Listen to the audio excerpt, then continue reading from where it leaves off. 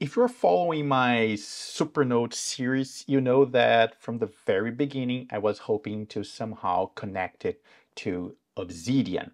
But the connection itself was never my goal. That's technology. I knew I would be able to find a way.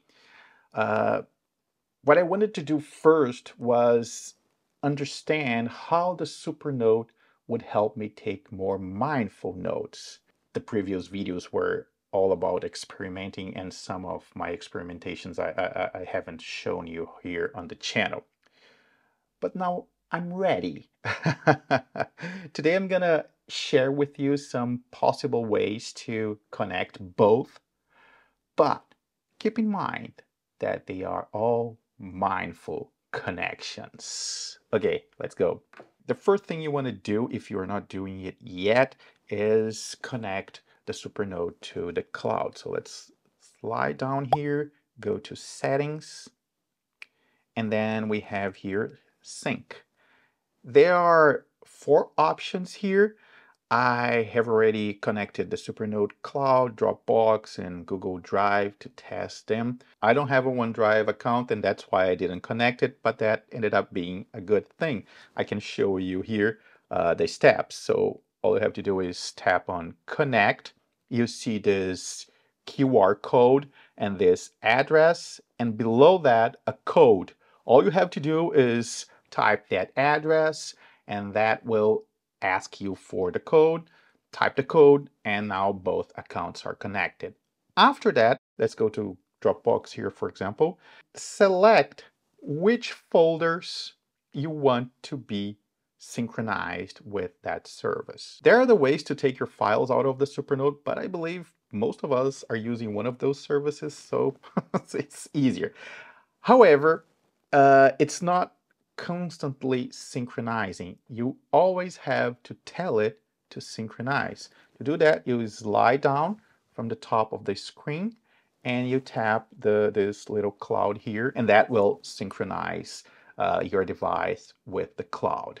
As you can see here, I'm back to that folder idea, the organizing single files, single thoughts, or each note containing uh, a specific subject and all those notes inside a folder. That has everything to do with the connection uh, to Obsidian. Uh, and keep in mind that I'm not synchronizing it with Obsidian. You, you soon understand it. Let's start with this note that I created for this video.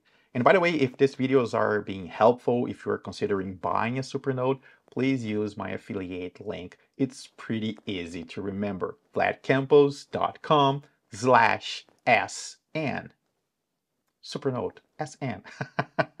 okay, first thing I'm gonna do here is show you how I'm using, how I'm creating some notes. So I'm creating links. So if I use the lasso tool and then tap this little chain here, I can select uh, a document to connect this uh, that number two to. In this case is the page number two. And let's do the same uh, here, page number three.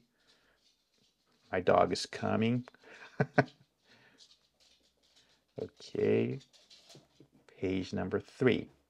And this was something important that I, I needed to test to make sure that this connection to Obsidian would work. So now when I, okay, let's go back a step here.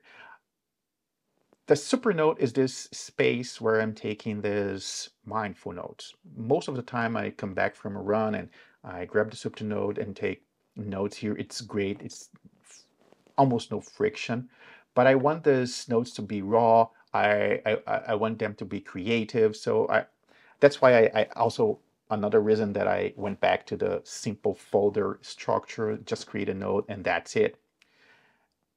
But that note or those notes will end up becoming something. And when that happens, I don't need the notes here anymore. But I want to preserve things like this, like the, connection, the links. And one task that I wanted to do was exporting this note as a PDF and making sure that these links would still work as a PDF and then moving that PDF to Obsidian and then finally deleting the node from the Supernote. So let's let's go through all those steps. First, the three dots here, export. Let's choose the three pages. PDF is already selected. Export, original, I don't need a vector. It's going to add this PDF file to uh, an export folder. But as I just told you, these are projects or ideas or whatever it is that I'm done with. So I don't need to file, the uh, Supernote file. And what I'm doing as a backup, I don't even know if I'm going to keep doing this, but I'm also moving this one here, move to export. Okay, so now I have both of them and we can go to the computer. First we have to synchronize. You know what? I enjoy this. It's not automatic. We have to think about it. I'm, I'm, I'm really enjoying this.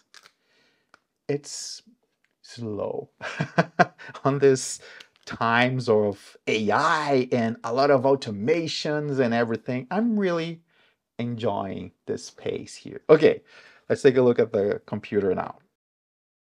This here is my Dropbox folder, and as you can see, both files are here. On the other side, we have my Obsidian file structure. Just as a reminder, this is the account I use uh, to record the videos. This is not my real account. But let's move this from here to, let's say, files.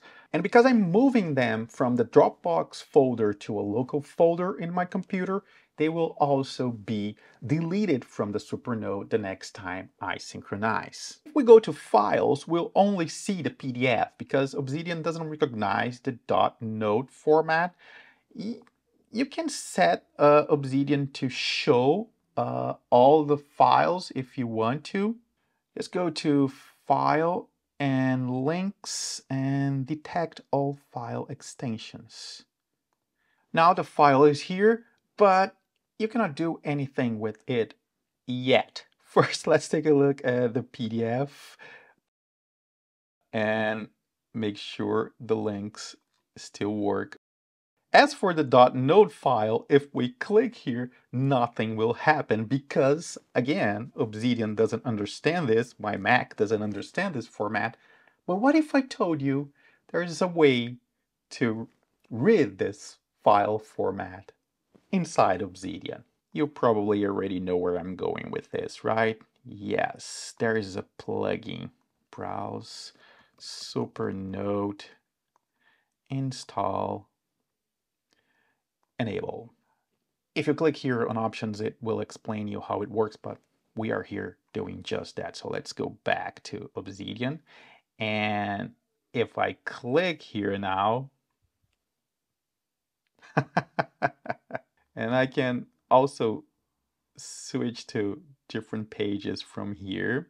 This is pretty cool, right? But hold on, there is much more to this plugin. First, I can use this note as any other Obsidian note.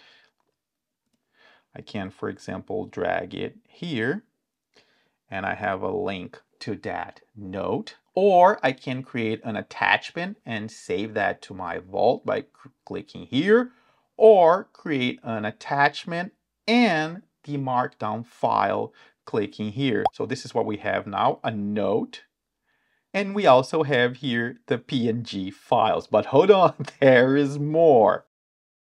The Supernote has one feature I've been using since the first video, this screen right here. If you slide down from the top of the screen, there are other options here, the same place we went to synchronize the Supernote, but there is this little screen here, and if I tap here, well, that disappear because I turn it off, but if I turn it on, and that Supernote plugin takes advantage of this feature in a pretty clever way. Let me show you. Okay, now we have a technical limitation here because I'm not gonna share the screen here anymore. So I'll use my phone to show you the Supernote screen. You soon understand what's going on here. We'll go back to the plugin. Here it is. And as you can see here, there's a little box to add the Supernote address. So let's slide down here again, tap the screen sharing. We now have this address here. I'm gonna enter it here. Now, as you can see, there's uh, 8080 at the end, and we have to type that on a browser if we want to share the Supernote screen like I've been doing here on the right hand side or left. I, I never remember what's happening on your side. Okay, but here it, it doesn't work if we type the 8080. So for some reason uh, that I don't understand, all you have to type is everything before the column. And if we go back to our node, for example, this one here, and let's say I'm doing something here on the Supernote that I want to attach to this node here.